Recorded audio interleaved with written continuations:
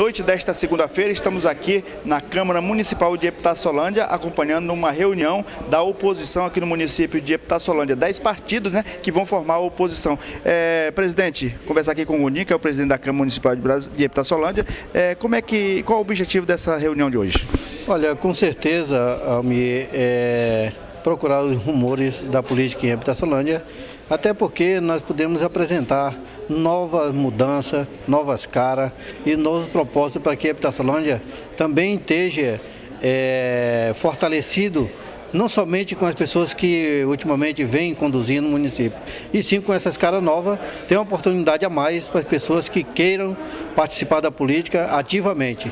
Então, esse é um propósito positivo de que nós podemos acertadamente ter essa decisão hoje, buscando melhora para todos nós e credenciando automaticamente com essa composição de estar buscando é, todas essas melhoras para todo o epitaçolandense, para o nosso estado e não para dizer para o nosso Brasil. Nós queremos essa mudança porque a gente vê a situação que hoje se encontra. Não menosprezando quem quer que seja, quem está na frente, mas nós queremos uma oportunidade junto na administração, buscando essa melhoria para todos nós. Conversar aqui com o André Sem, pré-candidato pelo PSDB. É, André, 10 partidos no momento, mas terá mais. Aralmi, é, nós iniciamos esse processo com os três partidos, ou somente PSDB, PPS, Democratas. Depois para essa coligação veio PMDB, PT do B e PMN.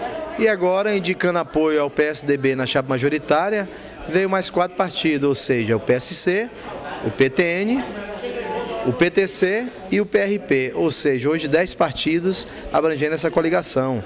E graças a Deus nós temos feito um bom trabalho, um trabalho com transparência, um trabalho que todos os presidentes têm direito a se manifestar, a propor suas ideias.